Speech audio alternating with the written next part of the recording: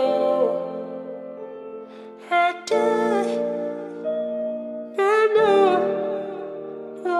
Yeah, in 84 I was born, torn from my mama's womb for 30 something years. I've been lost and been confused, asking what my purpose is, what I'm supposed to do. Yeah. This world's filled with vultures, I've been living in a zoo.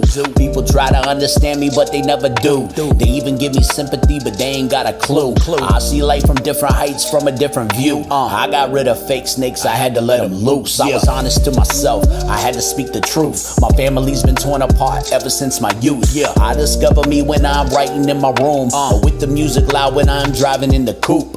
Through my darkest times, that is when I truly grew. Yeah. In my hardest times is when I become renewed. Uh, all we have are memories. Be careful what you choose. Yeah. Through your life lessons is when you discover you.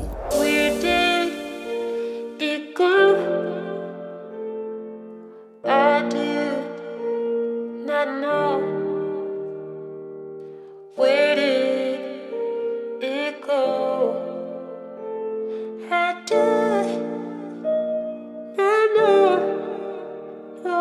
Yeah, the doctors give me medicine, but this music is my therapy. Yeah. Discovering myself is where I start to find the enemy. Uh, looking in the mirror used to be my only enemy. Yeah. I would always wonder if there's anyone that's hearing me, or am I lost in my thoughts? Is anyone else suffering? I had to learn to let it go, had to start uncovering. In order to recover me, I had to take the puncturing. Yeah. Had to go to rehab, had to go through surgery. It's all about decisions. The bullets, they never murdered me. I like people from a distance, they were always hurting me. Demons would surround my room, they were always hovering. Every day is still a battle, I am still recovering. I am still lost a lot, I am still wondering. I try to put my life together, but it's always puzzling. I had to learn a better way, something with more substance. Every day I'm saving me, overcoming sufferings. Where did it go?